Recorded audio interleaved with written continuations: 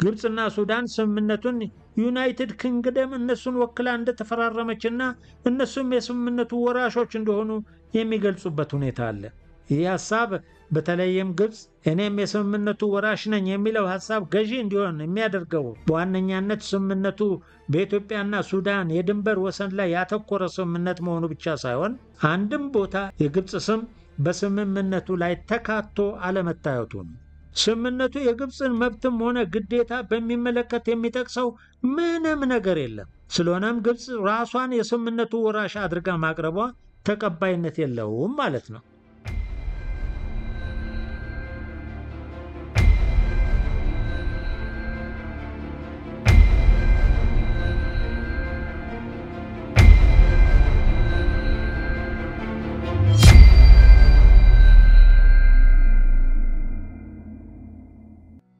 የአባይ ወንዝ የውሃ ፖለቲካ በድኅረ ቀዝቃዛው ጦርነትና አሁናዊ ሁኔታዎች በድኅረ ቀዝቃዛው ጦርነት ዓለም አቀፍ ነባራዊ ሥርዓቱ መቀየሩን ተከትሎ የአባይ ወንዝ ተፋሰስም ብዙ ለውጦችን አስተናግዷል።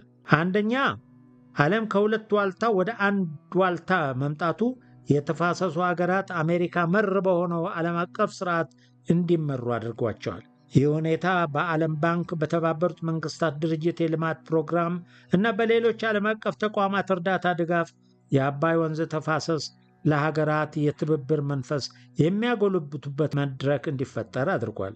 ዘላቂ የአባይ ወንዝ ልማት ለሁሉም ጥቅም በሚል መንፈስ በ1999 ዓ ም የተቋቋመው የአባይ ተፋሰስ initiative የዚህ ውጤት ነው። ይህ ሁኔታ የአባይን የውሃ ፖለቲካ አንድ እርምጃ ወደፊት ያራመደ ይመስላል። የአባይ ወንዝ አካታች የሕግና ተቋማዊ ማዕቀፎች እንዲኖረው በተደረገው የአስር ዓመታት የዲፕሎማሲ ጥረት የአባይ ወንዝ የትብብር ማዕቀፍን አስገኝቷል። ይህ ስምምነት ምንም እንኳን የሁሉንም የተፋሰሱ ሀገራትን ይሁንታ ባያገኝም ቢያንስ ስድስት የተፋሰሱ ሀገራት ካጸደቁት ሕግ የመሆን ዕድል አለው። እስካሁን ባለው ሂደት ኢትዮጵያ፣ ታንዛኒያ ሩዋንዳና ቡሩንዲ አጽድቀውታል። በዚህ ሂደት ውስጥ ኢትዮጵያ የላኛውን ተፋሰስ ሀገራት በማስተባበር አመርቂ ዲፕሎማሲያዊ ውጤት አስመዝግባለች። የሀገሪቱ የመደራደር አቅምና በሐሳብ የበላይነት የመያዝ ኃይልም ጨምሯል። ሁለተኛ ከተፋሰሱ ሀገራት በተለይም ኢትዮጵያ አንጻራዊ ሰላምና ተከታታይ የኢኮኖሚ እድገት ያስመዘገበችበት ወቅት ነው። ኢትዮጵያ በራሷ የፋይናንስ አቅም በሀገር ውስጥ ገቢ ማሰባሰቢያ ታላቁን የህዳሴ ግድብ ፕሮጀክትም እየሰራች ትገኛለች። ይህ እያደገ የመጣው የኢትዮጵያ ኢኮኖሚ ኃይል ሀገሪቱ ካላት የመልማት አቅምና ፍላጎት አንጻር ሲታይ በአባይ ወንዝ የውሃ ፖለቲካ ላይ የራሱ አንድምታ አለው። ከዚሁ ጋር በተያያዘ ኢትዮጵያ ከውሃ የመነጨ ኤሌክትሪክ ኃይል ለጎረቤት ሀገር ማለት ለሱዳን፣ ኬንያ እና ጅቡቲ እየሸጠች ሲሆን ከሌሎች ጎረቤት ሀገራትም ጋር የኃይል ሽያጭ ስምምነት እየተደረገ ይገኛል። ይህ የኃይል ሽያጭ ለኢትዮጵያ የውጭ ምንዛሪ ከማስገኘት ባለፈ ቀጠናውንም የማስተሳሰር አቅም አለው። ሦስተኛ ዓለም እያስተናገደች ካለችው ከአንድ ዋልታ ወደ ብዙ ዋልታ የኃይል ሽግግር ጋር በተያያዘ የአባይ ሸለቆና ቀይ ባህር አካባቢ ቀጠናዊ፣ ዓለም አቀፋዊና መንግስታዊ ያልሆኑ ኃይሎች መራኮቻ ሜዳ እየሆነ መጥቷል።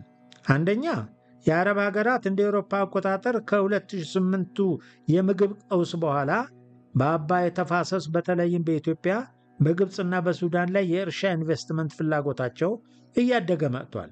ለምሳሌ ሳውዲ አረቢያ ከፍተኛ የምግብ ምርት ለማሳደግ ፍላጎት አላት። ይህ በአባይ ወንዝ የውሃ አጠቃቀም ላይ ተጨማሪ ጫናን የሚፈጥር ሊሆን ይችላል። ሁለተኛ ከጊዜ ወደ ጊዜ እያደገ የመጣው የፋርስ ባህረ ሰላጤ ሀገራት የወደብ ልማትና ወታደራዊ ሰፈራ ቀጠናዊ ጂኦፖለቲካዊውን ኢተሟጋች አድርጓታል። ሦስተኛ የፋርስ ባህረ ሰላጤ ሀገራት የራሳቸው ርዕዮተ ዓለማዊ ፍላጎት ስላላቸው እርስ በርሳቸው የሚያደርጉት ትንንቅ በቀጠናው ላይ የእጅ አዙር ጦርነት ከም ለማከናወን ምቹ ሁኔታ ሊፈጥር ይችላል። ከአባይ ወንዝ ጋር በተያያዘ አብዛኛው የአረብ ሀገራት በአረብ ሊግ በኩል የግብፅን አቋም የሚደግፉ ናቸው። ዓለም አቀፋዊ ሁኔታው ከአንድ ዋልታ ወደ ብዙ ዋልታ እየተሸጋገረ ስለሆነ ከአባይ የውሃ ፖለቲካ አንጻር የራሱ ዕድሎችና ስጋቶች ሊኖሩት ይችላሉ። ለምሳሌ የህዳሴ ግድብን በተመለከተ በአንድ ወቅት አሜሪካ የግብፅን አቋም ወደ መደገፍ ስትሄድ፣ ሌሎቹ የተለየ አቋም አሳይተው ነበር። ይህ ማለት ዓለም አቀፉን የኃይል አሰላለፍና የኃይል ሚዛን በአርቆ አስተዋይነት በማየት የኃይል ሽግሽግን እንዴት ለራስ ብሔራዊ ጥቅም ማዋል እንደሚችል በሰከነ መንገድ ማሰብ ይጠይቃል። ሦስተኛ፣ የአባይ ወንዝና የቀይ ባህር አካባቢ መንግስታት ኃይሎች ሊያሳድሩ የሚችሉትን የተጽዕኖ ደረጃ መገምገምም አስፈላጊ ነው። የአባይ ተፋሰስን በሕግና በፖሊሲ ውስጥ ለማስገባት ጥረት መደረግ የጀመረው ከ19ኛው ኬዝ ማገባደጃ ወዲህ ነበረ ማለት ይቻላል። በተለይ የቅኝ ገዢዎች ፍላጎት እያየለ መምጣትና በኋላም ግብፅ በውሃው ላይ ብቸኛ ተጠቃሚ ለመሆን የምታደርገው ጥረት ፖለቲካዊ ትኩረት እንዲያገኝ አድርጓል። የታችኛው ተፋሰስ ሀገር የሆነችው ግብፅ የውሃ አካሉን በተመለከተ አሳፋሪ ሕግ እንዲኖር የምታደርገው ጥረት የጀመረው ዛሬ ሳይሆን ከዓመታት በፊት ነው። ከዚህ ጎን ለጎን የተለያዩ የፖሊሲ እንቅስቃሴዎችን ስታደርግ ቆይታለች። በዚህ ምዕራፍ ውስጥ እነዚህን ከሕግና ከፖሊሲ ጋር የተያያዙ ጉዳዮችን ለማሳየት ተሞክሯል። በአባይ ዙሪያ የቀደሙ ስምምነቶች ከዓለም አቀፍ የስምምነት ሕግ መርህ አንጻር ስለ አባይ ወንዝ ሲነሳ አንደኛውና ዋነኛ ሆኖ የሚነሳው ችግር ሁሉን አቀፍ የሆነ የሕግ ማዕቀፍን በሚመለከት እልባት ያለማግኘት ጉዳይ ነው። እነዚህም እዚህም እዚያም የተበጣጠሱ በቅኝ ግዛት ዘመን የተፈረሙ ሕጎች ቢኖሩም በተለያየ ምክንያት በአባይ ተፋሰስ ሀገራት መካከል ያለውን አለመግባባት መፍታት የሚችሉ አይደሉም። በተለይም በተደጋጋሚ የሚጠቀሱት እንደ ኤሮፓ አቆጣጠር በ1902 በ1929 እና በ1959 የተፈረሙት የተበታተኑ ስምምነቶች አሁን ላይ ላለው የአባይ ተፋሰስ ሀገራት አለመግባባት ዋነኛ ማጠንጠኛ ሲሆኑ ይስተዋላል። የአለመግባባቶቹ አስኳል ደግሞ ግብፅና ሱዳን በቅኝ ግዛት ጊዜ የተፈረሙትን ስምምነቶች በመጥቀስ የአባይን ወንዝ በሚመለከት ታሪካዊና በተፈጥሮ የተገኘ historic and acquired መብት አለን በሚል ማንሳታቸው ነው። በዚህ ምዕራፍ የአባይን ወንዝ አጠቃቀም በሚመለከት በተለይም ግብፅና ሱዳን በተደጋጋሚ የሚያነሷቸውን ስምምነቶች በተናጠል በማንሳት ከዓለም አቀፍ ሕግ እንዲሁም ጉዳዩን ከሚዳኙ የተለምዶ ሕጎች አንጻር ያላቸውን ቦታ ምን እንደሆነ ትንተና ይደረጋል። በተጨማሪም በተፋሰሱ ሀገራት መካከል የሚስተዋለውን አለመግባባት እልባት ለመስጠት በተለያዩ ጊዜያት የተደረጉ የሕግ ወይም የትብብር ማዕቀፎች ይቃኛሉ።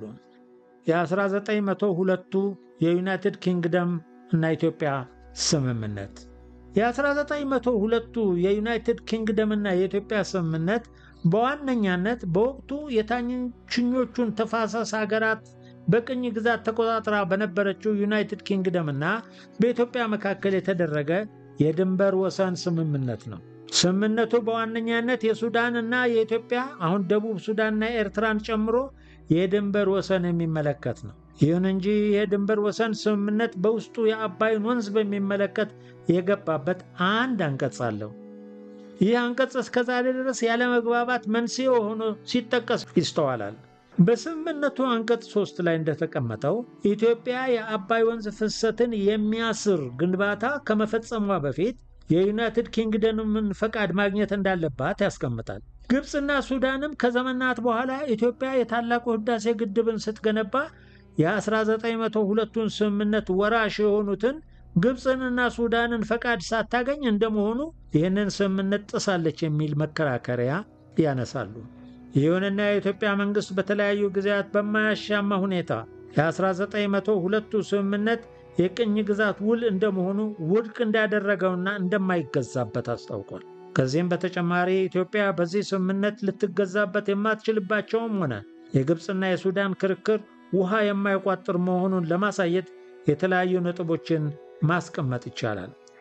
የመጀመሪያው ኢትዮጵያ በስምምነቱ የማትገደድበት ምክንያት በወቅቱ የነበሩትም ሆኑ በኋላ የመጡት የኢትዮጵያ መንግስታት ስምምነቱን ያላጸደቁት መሆኑ ነው።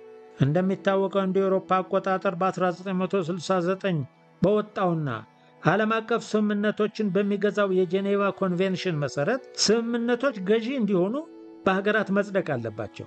የ1902ቱ ስምምነት ግን የእንግሊዝኛውም ሆነ የአማርኛው ሰነድ በኢትዮጵያ መንግሥት የጸደቀ አይደለም።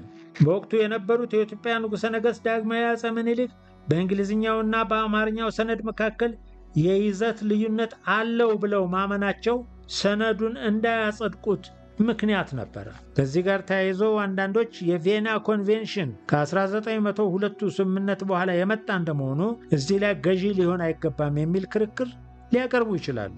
ይሁንና በወቅቱ የነበሩ ልማዳዊ ሕጎች እንደሚያሳዩት ከሆነ ከ18ኛው ክፍለ ዘመን መጨረሻ ጀምሮ በተለይም በ19ኛውና በ20ኛው ክፍላተ ዘመናት ጊዜ ሀገራት የተስማሙባቸውን ስምምነቶች ከፈረሙባቸው በኋላ የማጽደቅና የጸደቀውንም ስምምነት መለዋወጥ ዋነኛው ሂደት እንደነበረ ያሳያል። በዚህ መነሻነት ኢትዮጵያ በ1902 የገባችውን ስምምነት ከተስማማችበት በወቅቱ በነበረው ልማዳዊ ሕግ መሠረት ማጽደቅ የሚጠበቅ ነበር። ይሁንና ኢትዮጵያ ስምምነቱን ስለ ማጽደቋ የሚያስረዳ ምንም አይነት ማስረጃ የለም። የማጽደቁን ሂደት ለእንግሊዝ መንግሥት ብቻ የሚሰጠው አንቀጽም በወቅቱ ከነበረው ልማዳዊ ሕግ አንጻር ጋር ያልተዛመደ እንደሆነ መገንዘብ ይቻላል። ሌላኛው የግብፅና ሱዳንን ክርክር ውሃ የማያነሳ የሚያደርገው በስምምነቱ አንቀጽ ሦስት ውስጥ የተቀመጠው አገላለጽ ነው። የእንግሊዝ መንግሥት ስምምነቱን እስካጸደቀው ድረስ ገዢ ነው እንኳን የሚል ክርክር ቢነሳ በአንቀጽ ሦስት ስር የተገለጸው አረፍተ ነገር የኢትዮጵያን መብት የሚያስቀር አይደለም። ይልቁንም ግብፅና ሱዳን አሁን የያዙትን አቋም ምን ያክል ስህተት እንደሆነ የሚያሳይ ነው። የስምምነቱ አንቀጽ ሦስት እንደሚያስቀምጠው ከሆነ የኢትዮጵያ መንግሥት ከጥቁር አባይ ከባሕረ ጣና እስከ ሶባት ወንዝ ወደ ነጭ አባይ የሚወርደውን ወንዝ ተዳር ዳር የሚደፍን ሥራ እንዳይሰሩ የሚከለክል ነው። ይህ አንቀጽ እንደሚያስቀምጠው የኢትዮጵያ መንግሥት በወንዞቹ የመጠቀም መብት የሚከለክል ሳይሆን ይልቁንም የወንዞቹን ፍሰት ሙሉ በሙሉ የሚደፍን ሥራ መስራት እንደሌለበት ነው። ስለሆነም ግብፅና ሱዳን በተደጋጋሚ ይህንን ስምምነት እንደ መከራከሪያ ማንሳታቸው በሕግ ትርጉም የሚያስኬድ አይሆንም።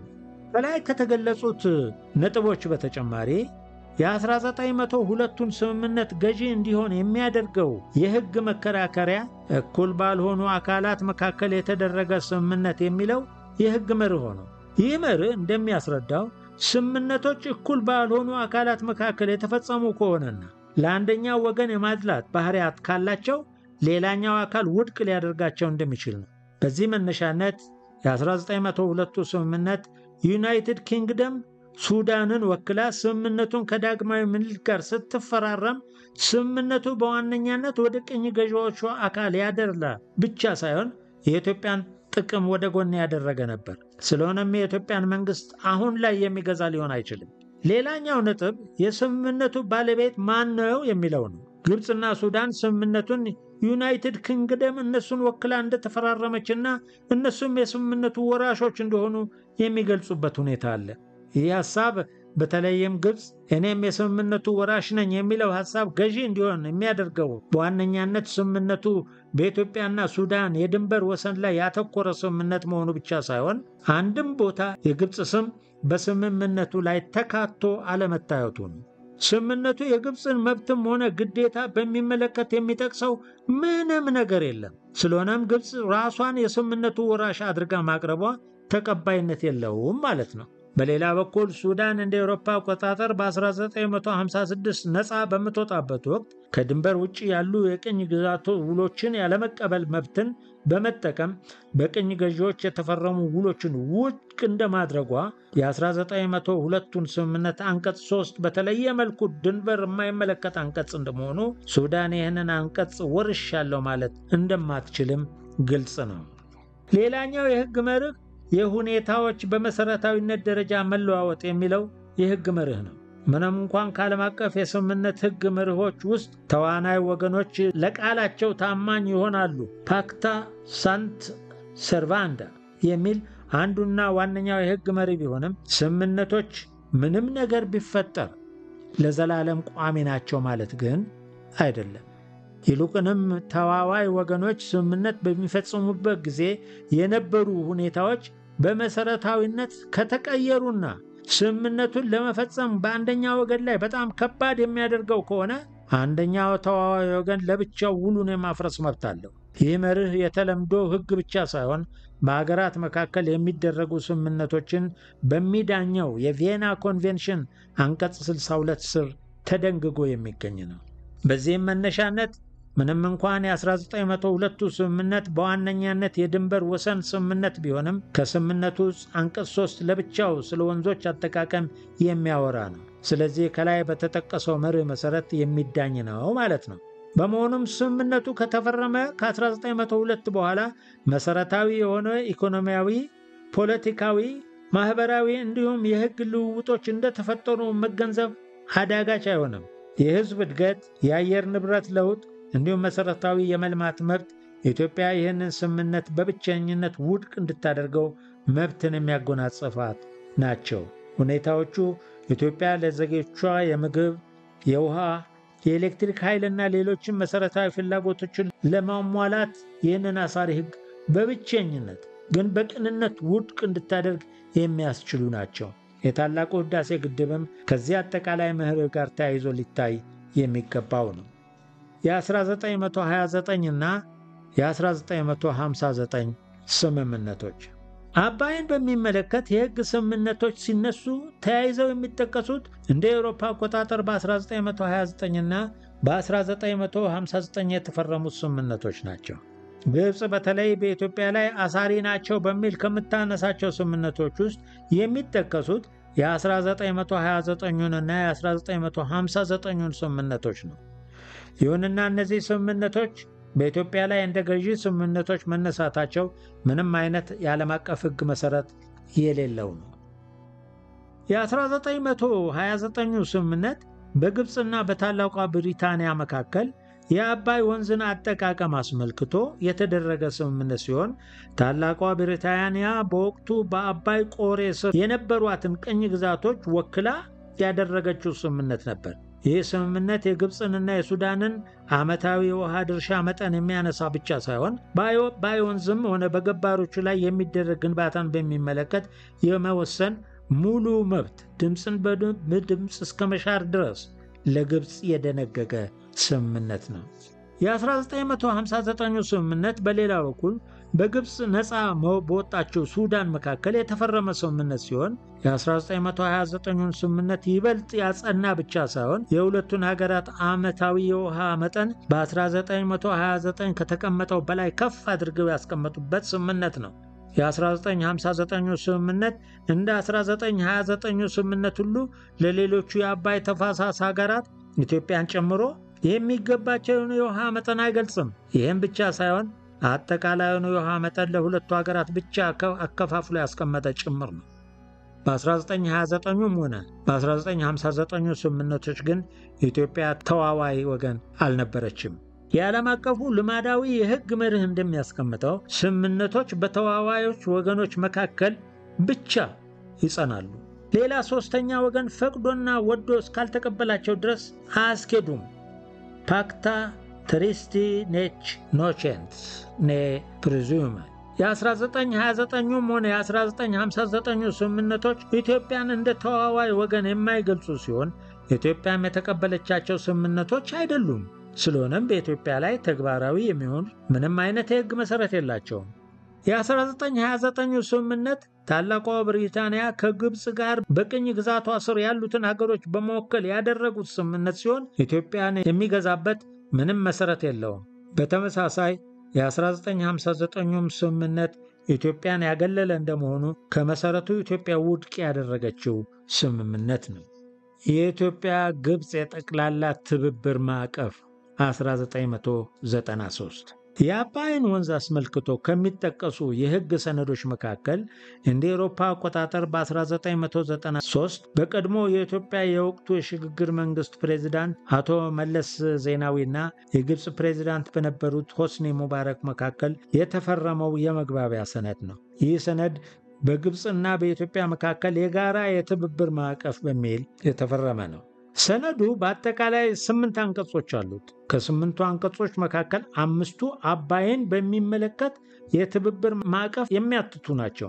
ስምምነቱ በደምሳሳው የሚያስቀምጠው በሁለቱ ሀገራት መካከል ወደፊት የናይልን ወንዝ አጠቃቀም አስመልክቶ የሚደረጉ ስምምነቶች የዓለም አቀፉን ሕግና መርህ ባከበረ መልኩ መሆን እንዳለበት ሲሆን በአሁኑ ወቅት ይህ የመግባቢያ ሰነድ እምብዛም ሲጠቀስ አይስተዋልም። ለዚህም በኋላ በተደረጉ ስምምነቶች መቀየሩ እንደ አንድ ምክንያት ሊሆን ይችላል። በሌላ በኩል ግብጾች 1902 የ1929 እና የ1959 ስምምነቶች በተሻለ መልኩ መብታችንን የሚያስጠብቁ ናቸው ብለው ማመናቸው የትብብር ማዕቀፍ እምብዛም እንዳይነሳ እንዳደረገው ይታመናል። የአባይ ተፋሰስ initiative Nile Basin Initiative 1999 የአባይ ተፋሰስ initiative በአባይ ተፋሰስ ሀገራት መካከል እንደ ኤሮፓ አቆጣጠር በየካቲት 1999 በይፋ ስራውን እንዲጀምር ተደርጎ የተመሰረተ የጋራ ማዕቀፍ ነው። በተፋሰሱ ውስጥ የሚገኙ ዘጠኝ ሀገራት ማለትም ኢትዮጵያ፣ ግብፅ፣ ሱዳን፣ ኡጋንዳ፣ ኬንያ፣ ታንዛኒያ፣ ብሩንዲ፣ ሩዋንዳ እና ዴሞክራቲክ ሪፐብሊክ ኮንጎ በትብብር ለመስራት የመሰረቱት ነው። በኋላም ደቡብ ሱዳን ሀገር ስትሆን initiative ን ተቀላቅላለች። በ initiative ውስጥ የኤርትራ ተሳትፎ በታዛቢነት ሲሆን በጉዳዩ ላይ ያላት የተገደበ ፍላጎት እንደ አንድ ምክንያት ይጠቀሳል። የአባይ ተፋሰስ initiative በዋነኛነት ሁለት ዓላማዎችን እንዲከውን የተመሰረተ ነው። ስምምነቱ ግድቡ በሚሞላበት ጊዜ በትብብር መስራትን የሚያስቀምጥ ሲሆን አሁን ላይ ግብፅና ሱዳን ለሚያነሱት ክርክር እንደ ዋነኛ አስረጅ ሰነድ አድርገው ያቀርቡታል። ይሁንና ሰነዱ የመርህ ስምምነት እንደመሆኑ መርሆችን ብቻ እንጂ ዝርዝር ተግባራቸውን የያዘ አይደለም። ዓላማውም እሱ አይደለም። በመሆኑም በዚህ ረገድ ግብፅና ሱዳን የሚያደርጉት ትብብር አስገዳጅ የሕግ መሰረት ያለው አይደለም። ይቀጥላል።